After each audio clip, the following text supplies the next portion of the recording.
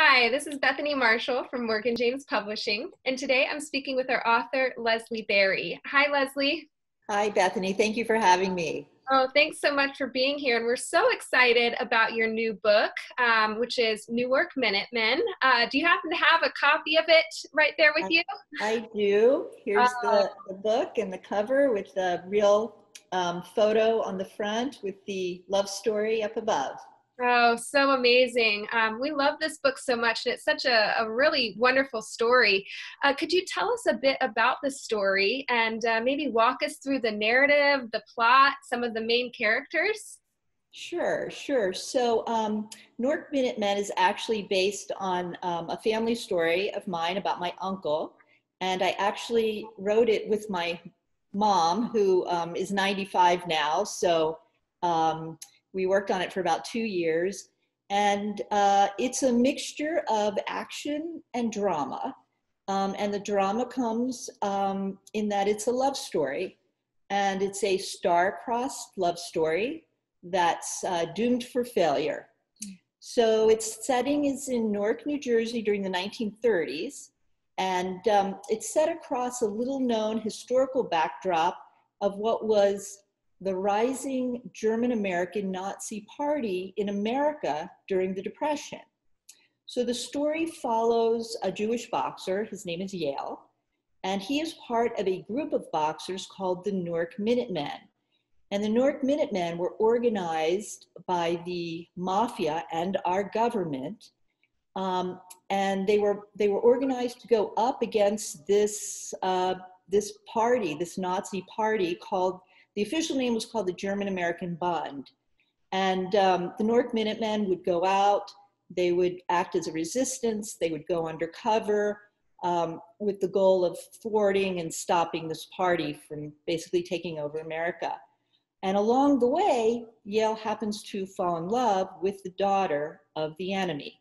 So you've got all this conflict, as you can imagine, going on over this world of conflict. And the way I wrote the book is um, uh, I wrote it through four narrators. So you have Yael and Krista, and you also have um, the villains. The, uh, uh, the head of the American Bund was, his name was Fuhrer Fritz Kuhn, and then the head of the mafia, his name was Longy Zwillman. So um, I, I wrote it this way, and, and as I was writing it, um, people were like, you know, this is too complicated for a, a this was my uh, uh, first book, and it actually I'd actually written the screenplay first, um, and translating it over, and they're like, this is going to be really complicated. But I really wanted to have this idea of um, the reader being able to empathize why somebody would follow a, a, an American Hitler in America back then, or why they would work for the mafia. And so I wanted them to see the kindness and the wickedness and even the mistakes that all these different characters made. Um, so, uh, so I've told this story through the eyes of these four characters so that the reader can examine why America closed our eyes back then to the satellite that Hitler was building in America for his Nazi empire. Um, and in fact, this story has been buried um, I, I, had never learned it in school. I don't know if, if you had.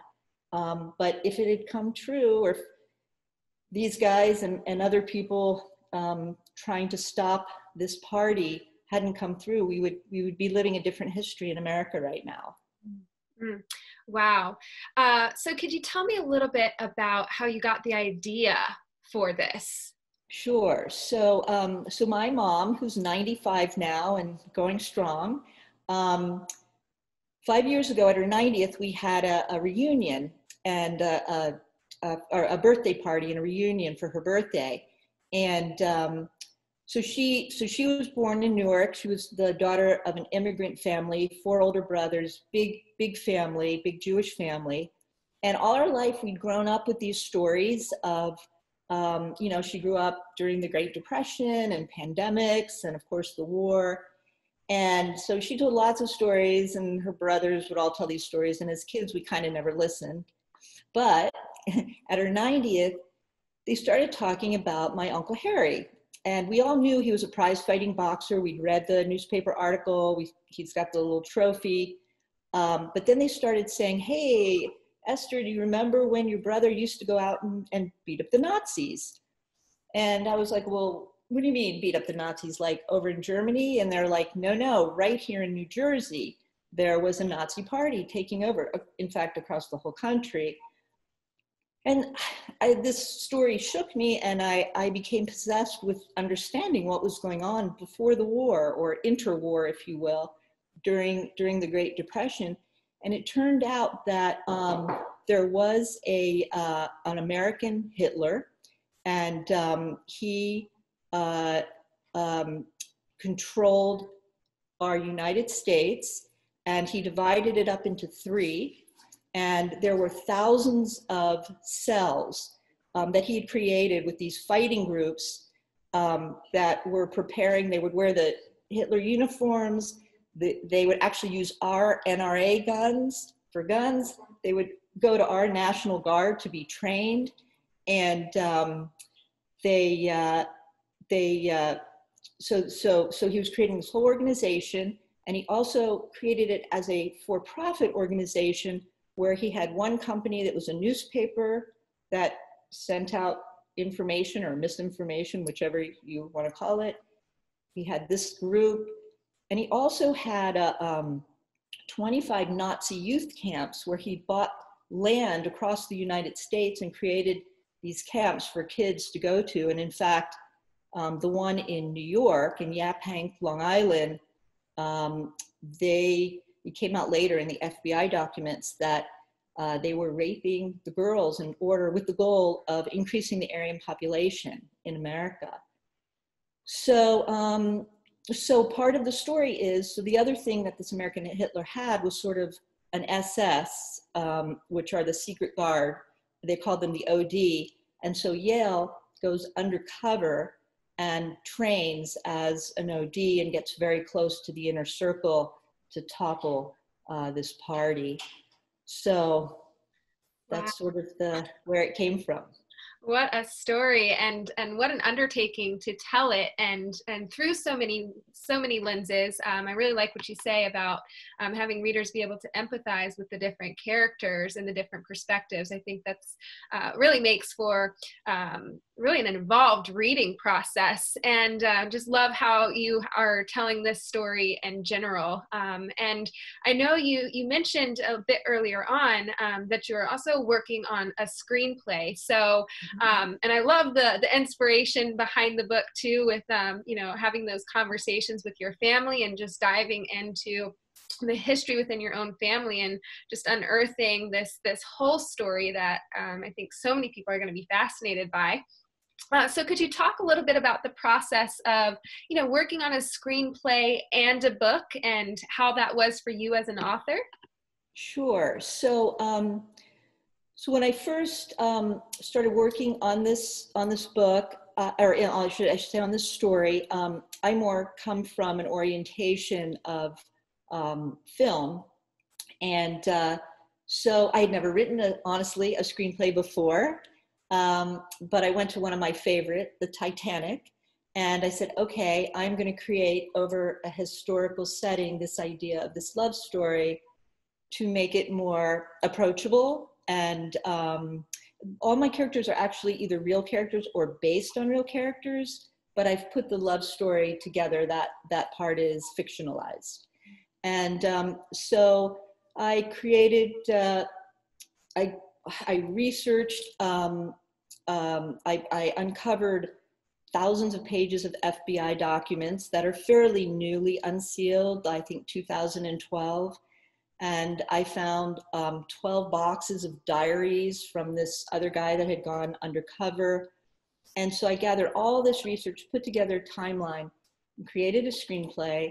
And um, back then, which was maybe three or four, three years ago or so now, um, I uh, it, the timing was such that there was a feeling of, gosh, this is timely, and also um, the idea that it was uh, young people and in America.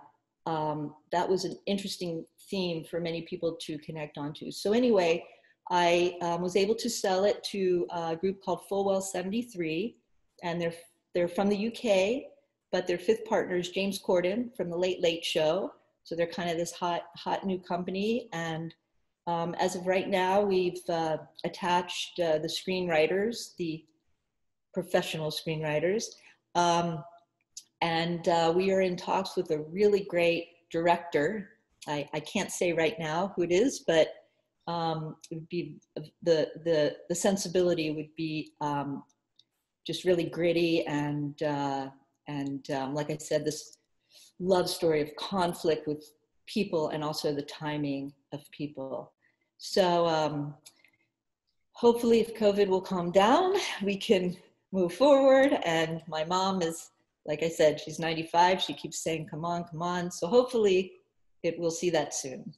Amazing. Well, I know a lot of people love to read the book first, anyway. So as that's under um, under construction and getting developed and built out, that's so exciting. Um, and thank you so much, Leslie, for talking with me today and diving deeper into uh, this book. Um, I think a lot of people, again, are going to be you know fascinated uh, by this book. Um, and so I know people also might want to learn a little bit more about you or about the book. So, where's the best place for uh, our viewers today to go find you um, online or connect with you? Yeah, so I have a, a website, Newark Minutemen, Minutemen.com, and um, it's got a lot of the backstory. It's got some interviews, and I've even created this. I've come across um, all of these people that actually used to be Newark Minutemen. And so they're sending me pictures. I'm creating a whole gallery of, of Minutemen um, on there as well. Awesome. Well, thank you again so much. And congratulations on your new book release. We're so excited. Thank you so much.